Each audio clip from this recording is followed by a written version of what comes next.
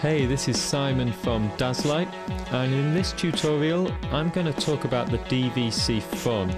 So I'm going to show you how you can actually set up the DVC Fun for the first time and get it working with the Daslight 4 software.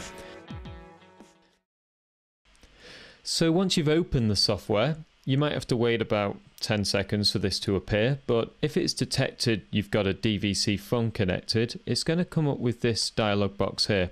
And basically this allows you to enter an email, a password, and a unique number that you should get either on a key card supplied with the device or you should get it over email. And basically that key card is what allows you to register the interface. You should definitely keep that to one side in a safe place.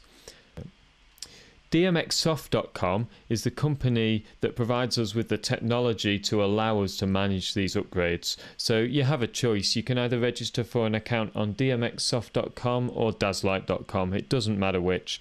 So I'm going to enter my colleague's email address here, which is ben.price.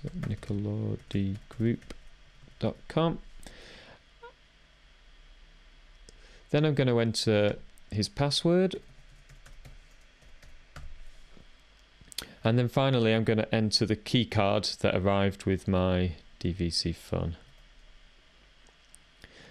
And then click register. So this registration process um, kind of depends how fast your internet connection is and how quickly our server's running.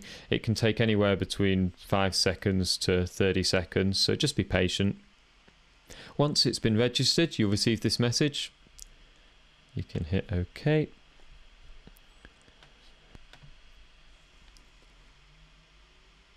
And once you've hit OK, you'll basically get this window. So this is the devices window. And as you see, our DVC Fun has been listed here. And it says over here, new DVC Fun controller from Daslight. We've got this big tick, which tells us it's been registered. Um, it's working in express mode, the software, and the interface is connected.